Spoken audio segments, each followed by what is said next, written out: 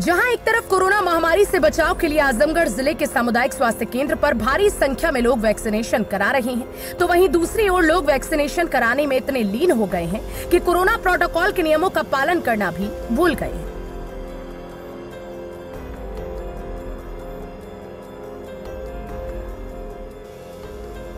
आपको बता दें कि लालगंज के सामुदायिक स्वास्थ्य केंद्र में वैक्सीनेशन कैंप लगाया गया, जहाँ हज़ारों की संख्या में लोगों ने पहुंचकर वैक्सीन लगवाई। बताया जा रहा है कि सामुदायिक स्वास्थ्य केंद्र पर 18 वर्ष से 45 वर्ष तक के लोगों को वैक्सीन लगाई जा रही है। वहीं तस्वीरों में साफ़ तौर पर आप देख सकते हैं कि महिलाएँ और पुरुष वैक्सीन लगवाने के लिए लाइन में खड़े होकर अपनी बारी का इंतज़ार करते रहे। साथ ही सामुदायिक स्वास्थ्य केंद्र पर वैक्सीन कराने आए लोग इतने लीन हो गए कि सोशल डिस्टेंसिंग का पालन करना ही भूल गए और सोशल डिस्टेंसिंग की धज्जियाँ उड़ाकर महामारी को दावत देते नज़र आ रही है। वही मौजूद प्रशासन भी मूक दर्शक बनती हुई नज़र आ रही है।